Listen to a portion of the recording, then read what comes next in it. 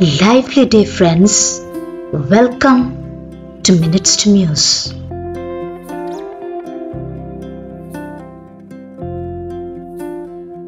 Emphasis for today, Thursday, is Travail in Prayer.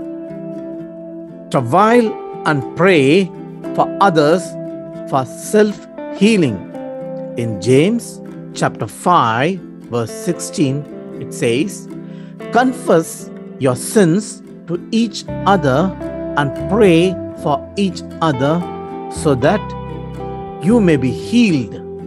The earnest prayer of a righteous person has great power and produces wonderful results. Travail and pray for the nations like a woman in labor. In Isaiah chapter 66, verse 8, it says, Who has heard of such as this? Who has seen such things? Can a country be born in a day or a nation be delivered in an instant? Yet, as soon as Zion was in labor, she gave birth to her children. The Lord travailed for our salvation from sins. In Isaiah chapter 53, verse 11, it says about the Lord, when he sees all that is accomplished by his anguish, he will be satisfied. And because of his experience, my righteous servant will make it possible for many to be counted righteous, for he will bear all their sins. Let's know the spiritual meaning of travail in prayer.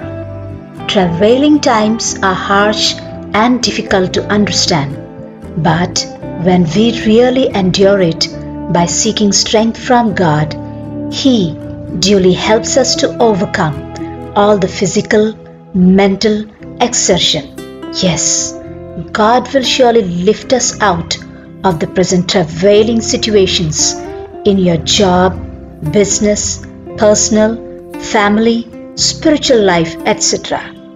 He will bless you with good gifts and make you an overcomer. Let's think, friends.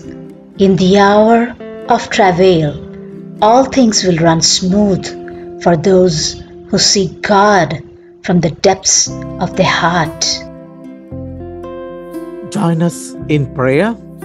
Loving, gracious Heavenly Father, Lord, we thank you for giving us thy strength, grace, and spirit to travail in prayer so that we may prevail in your blessings. Lord, you bring about changes for the good of nations and has given thy wonderful gift of salvation for the healing and deliverance of the multitudes. Lord, bless us today and change our situations as per thy goodwill for us and heal our lives to glorify thy holy name. In Jesus' name we ask and pray. Amen.